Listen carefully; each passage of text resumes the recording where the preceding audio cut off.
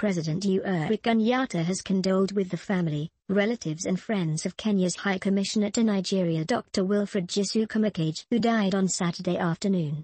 Dr. Machage, a two-term Kuria East MP, Migori senator and former cabinet minister, is reported to have collapsed and died suddenly at his home in Abuja, Nigeria.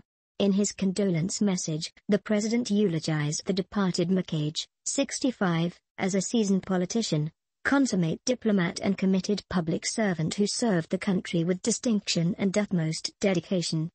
I received the shocking news of the sudden death of my friend and our country's ambassador to Nigeria Dr. Wilfred Machage last evening with disbelief.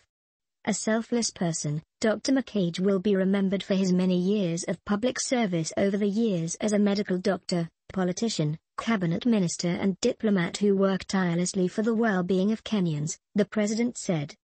He added, as a politician, Dr. Machage was a relentless advocate of the interests of Wananchi especially Kuria and Migori residents that he represented in the National Assembly and Senate respectively.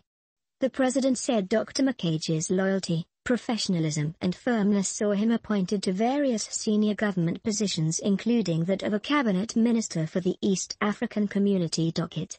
Dr. Machage was a charismatic, determined and forthright leader whose friendly disposition and wit earned him many friends.